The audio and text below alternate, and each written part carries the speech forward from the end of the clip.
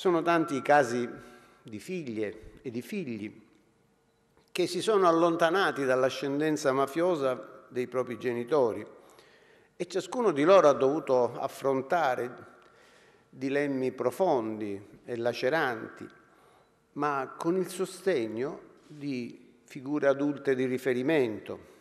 Io penso a tante madri coraggiose, a tantissimi insegnanti testardi, a tantissimi sacerdoti impegnati e sono riusciti a liberarsi dallo stigma, dal marchio familiare criminale.